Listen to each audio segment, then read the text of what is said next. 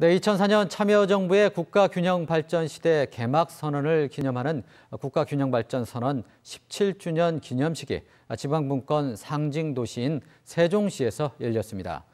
올해는 문재인 대통령의 힘을 쏟고 있는 지역균형 뉴딜이 최대 화두였는데요. 전국 시도지사들이 참석한 가운데 수도권 중심 국가를 바꾸자며 상생 협약이 체결됐습니다. 지역민방 공동취재단 유재일 기자의 보도입니다. 정세균 국무총리와 전국 17개 시 도지사들이 한자리에 모여 지역균형 뉴딜을 통한 국가균형발전에 협력하기로 뜻을 모았습니다. 국가균형발전 선언 17주년 기념식에 참석한 정세균 국무총리는 국가균형발전이 미래 세대를 위한 더 나은 대한민국을 향한 국가 전략이라고 강조했습니다.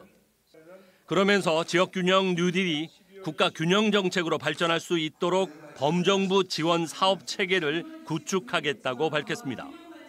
지역이 주도하는 창의적 지역 균형 뉴딜을 기필코 성공시키겠습니다. 지역 특성에 맞는 지역 균형 뉴딜 추가 사업을 적극 발굴하고 지원하겠습니다.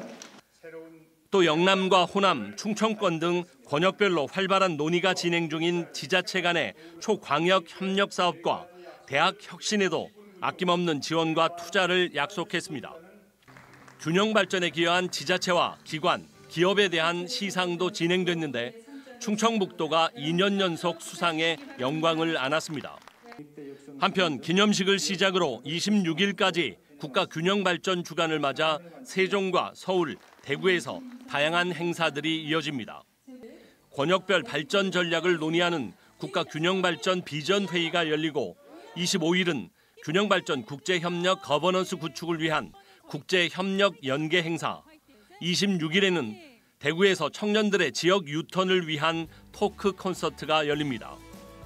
이번 국가균형 발전 주간이 균형발전 정책에 대한 성찰의 기회를 제공하고 각계각층의 관심도를 올릴 수 있는 소중한 기회가 되기를 기대합니다. 정부가 지역균형 뉴딜에 대한 아낌없는 지원을 약속한 가운데 이를 뒷받침하기 위한 국가균형발전특별법 개정안에 조속한 국회 통과를 위해 지역이 한 목소리를 내야 할 때입니다.